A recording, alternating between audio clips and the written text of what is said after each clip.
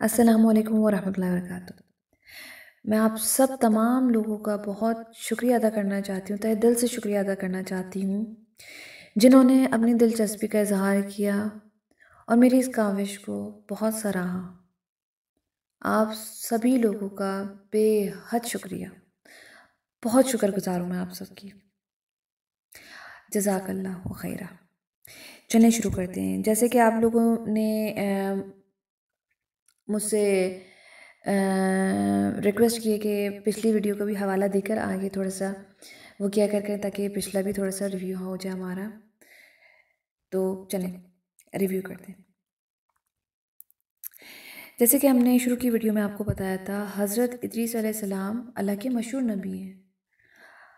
आपका ज़माना हज़रत आदम सलाम और हज़रत नू सलाम के दरमियान में आता है, ठीक है?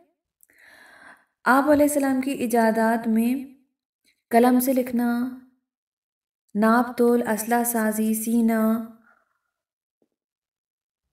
परोना, ये आप सलाम की इजादें हैं। आप सलाम के ज़माने में ही इल्म नजूब और इल्म हिसाब शुरू हुआ था। आप सलाम का ज़िक्र कुरान पाक में भी किया गया है और आप सलाम को इदरीसी कहा गया है और कुरान पाक में आप सलाम का दो जगह ज़िक्र आया है। आप सलाम पर अल्लाह ताला ने सहीफ़े भी नाजल फरमाई हैं। आप सलाम के लिए मशहूर था कि आप बेहतरीन ज़बानों के माहिर थे। जब आप सलाम अपनी शूर की उम्र में पहुँचे, जब आपको शौर आया। तो अल्लाह ताला, अल्लाह रब्बुल इज़्ज़त ने आपको नबूवत से सरफराज फरमाया सुबहान अल्लाह और आपने तबलीग का अमल शुरू किया। जो आपके साथ थे, एक जमात आपके साथ हुई, जिनको आपने हिजरत के लिए का इरादा बनाया कि हिजरत करते हैं। आ और अपने ताबेदारों को हिजरत की तलकीन भी की। ये बाबुल में रहते थे। बाबुल फरात की नहरों से सरसब और शादाब था। बाबुल इराक का मशहूर शहर था, जो फना हो गया। लोग बिल्कुल, उनका बिल्कुल दिल नहीं था कि अपने इस खूबसूरत इलाके को छोड़कर जाए। मगर हज़रत इदरीस सलाम ने लोगों को तसल्ली दी। और कहा कि अल्लाह जल्ल जलालहू की राह में तकलीफ़ उठाओ। अल्लाह ताला बेहद रहम करने वाला है और उसकी रहमत वसी है। इसका नेम व बदल आप सबको ज़रूर मिलेगा। आप लोग हिम्मत करो और खुदा के सामने अपना सर झुकाओ। जब ये जमात इस बात पर राज़ी हो गई तो हज़रत इदरीस सलाम इन जमातियों के मिस्र की तरफ़ रवाना हुए। जमातियों ने दरी नील की सरजमीन की शादाबी देखी तो वो बेपनहा खुश हुए। फिर हज़रत इदरीस सलाम ने फरमाया, बाबुलियों, ये तुम्हारा बाबुल की तरह शादाब मकाम है। कोई बेहतरीन जगह नील के किनारे मुंतखब करके ठहर जाओ।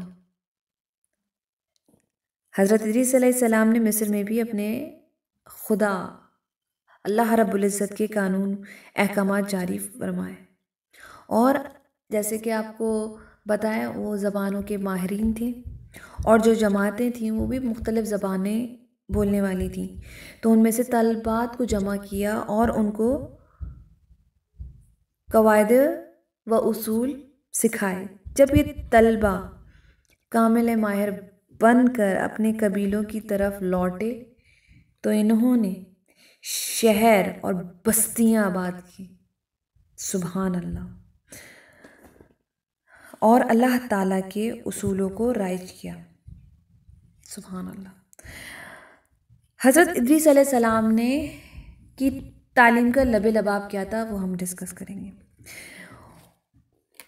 पहला ये कि खुदा की हस्ती और इसकी तोहीद पर ईमान लाना। अल्लाह एक है। अल्लाह एक है, इस पर ईमान लाना। सिर्फ़ खाल के कायनात की इबादत करना, इसके अलावा किसी को शरीक नहीं ठहराना। आखिरत के अजाब से खुलासी के लिए अमल साले को ढाल बनाना। दुनिया से बेइतफाक़ी और तमाम अमूर में अदल इंसाफ को पेश नज़र रखना। मुकर्रा तरीके पर इबादत करना और दुश्मनान ईमान से जहाद करना।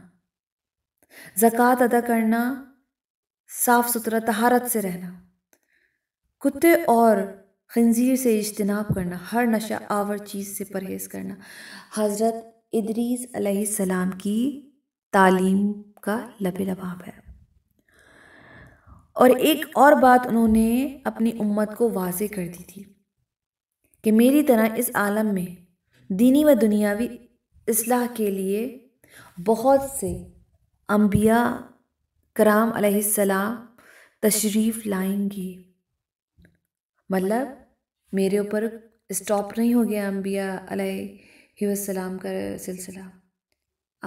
आपने पहले फरमा दिया अपनी उम्मत को कि ये सिलसिला जारी व सारी है। सजा कर अगर आपको मेरी काविश अच्छी लगी हो तो मेरे चैनल को लाइक, शेयर और सब्सक्राइब कर दिएगा। जजाकल्ला